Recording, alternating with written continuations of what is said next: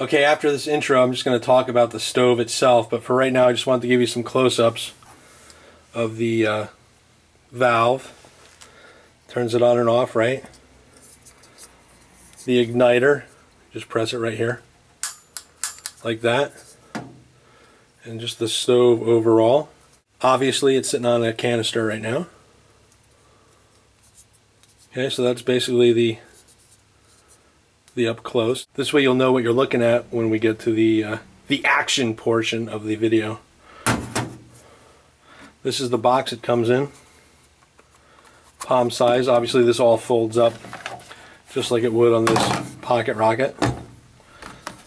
Just even the um, size-wise, the box is quite a bit smaller. Okay. And obviously this is what the pocket rocket looks like.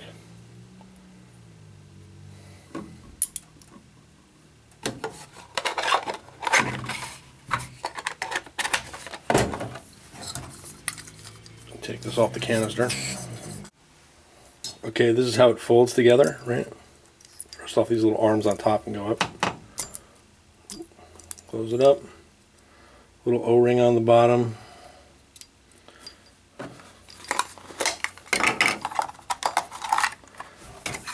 Drops right in the canister or in the uh, container. And that's it. And then uh, this is an eight ounce canister. They make a four ounce canister, about you know obviously half the size. And that's it.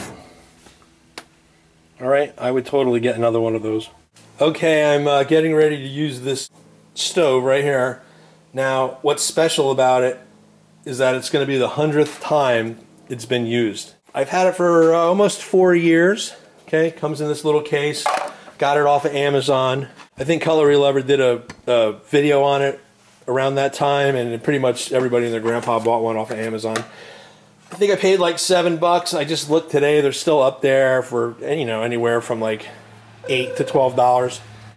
I happen to own this uh, Pocket Rocket right from MSR. I use it. Build quality better than that. Um, I have a 25 year old Whisperlite from MSR. So I have no doubt that this thing will last a lifetime with regular maintenance. But for the price, uh, right? This thing's 40 bucks. That's a fifth of it, right? So this thing is fantastic. Uh, I usually keep it in a bag that goes in my work truck. I heat myself up soup, hot cocoa, whatever at work when I'm out in the field. I'm going to use it for stuff like I do right now for heating up wax in a soup can for another project and another video.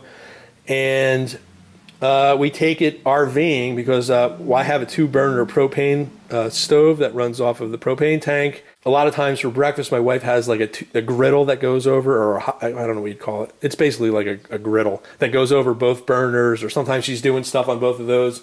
But she likes to have, um, you know, coffee in the morning. So she has a little percolator which sits on this, and these obviously fold out. Okay, and uh, so yeah, it's I've because I wanted to see how durable and how long it would last. I've kept careful track of exactly how many times it's been used, and this burn is going to be its hundredth burn.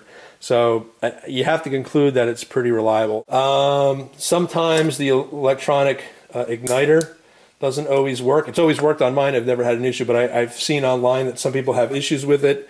And of course, this is like a cheap Chinese knockoff of, you know, basically this, right? So, you know, you can have issues and you could definitely get a dud, but for seven, seven dollars, totally worth the risk. So paranoid have I been about it not working that usually, especially when I'm going RVing and my wife wants to have that for, you know, doing the coffee in the morning, I always bring this along as backup for backpacking, I pretty much use that or something like that, whatever.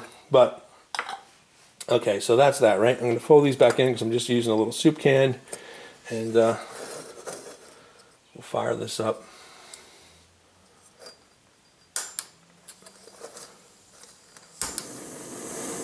There we go. My soup can on there. And I'm going to melt my wax. All right. So that's it. 100 burns. Never a problem. Not saying this one might not end in disaster, but never been a problem.